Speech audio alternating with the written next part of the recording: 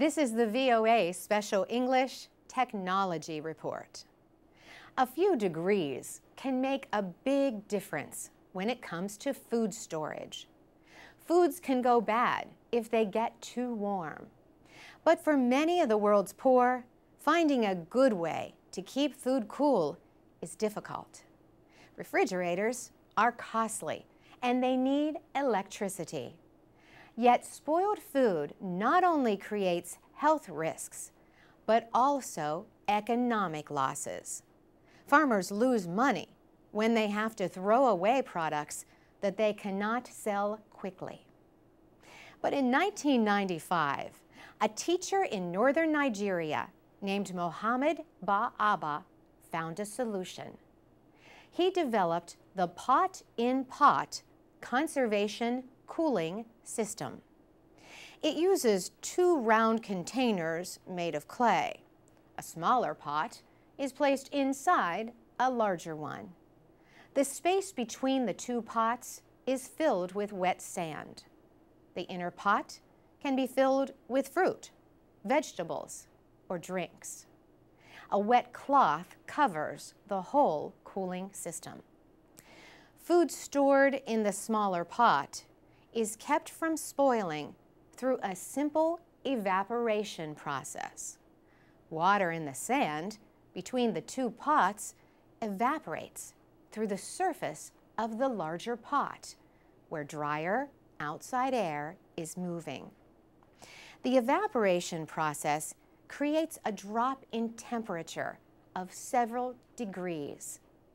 This cools the inner pot and helps keep food safe from harmful bacteria. Some foods can be kept fresh this way for several weeks. People throughout Nigeria began using the invention, and it became popular with farmers in other African countries.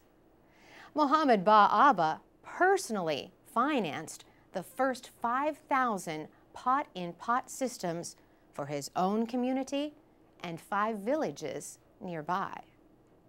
In 2000, the Rolex Watch Company of Switzerland honored him with the Rolex Award for Enterprise. This award recognizes people trying to develop projects aimed at improving human knowledge and well-being. A committee considers projects in science and medicine, technology, exploration and discovery, the environment, and cultural history. Winners receive financial assistance to help develop and extend their projects. The awards are given every two years. The next awards will be presented in late 2012. Last year, Rolex launched the Young Laureates program for the younger generation. For VOA Special English, I'm Carolyn Presutti.